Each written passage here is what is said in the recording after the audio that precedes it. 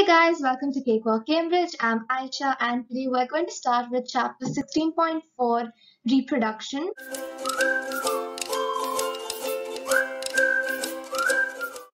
This um, presentation comprises sexually transmitted infections. It's only six slides long and it's going to get, we're going to get done with it real quick. So let's get started. So what exactly is an STI? An STI is a sexually transmitted infection.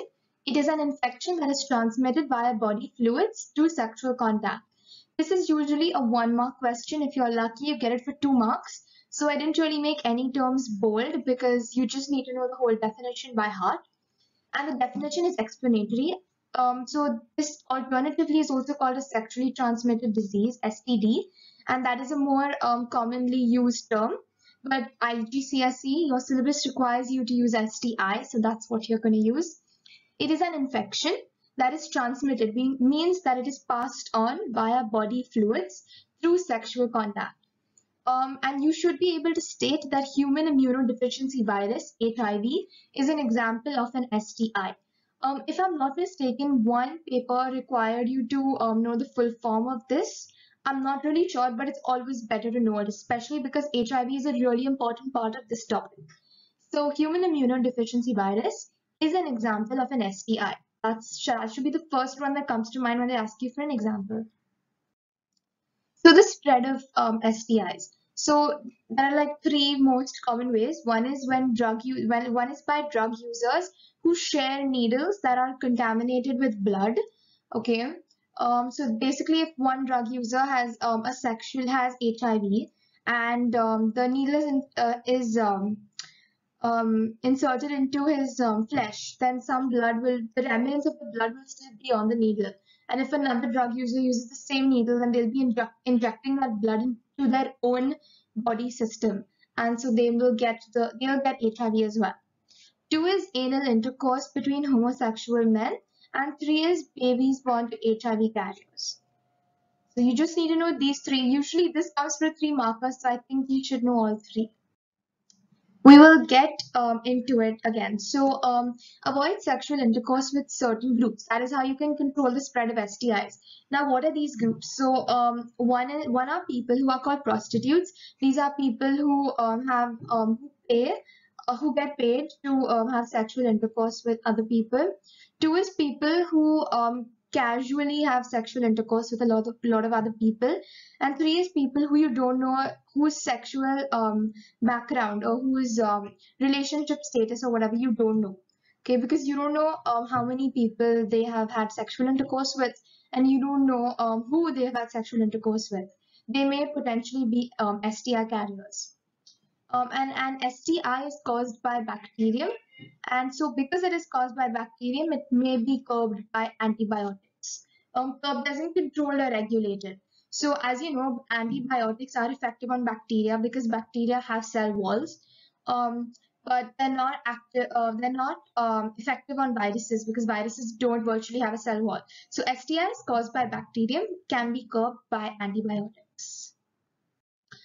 Um, HIV so basically HIV, hum, human immunodeficiency virus. I'm going to keep saying it so you try to like um, know it by heart by the end of this video.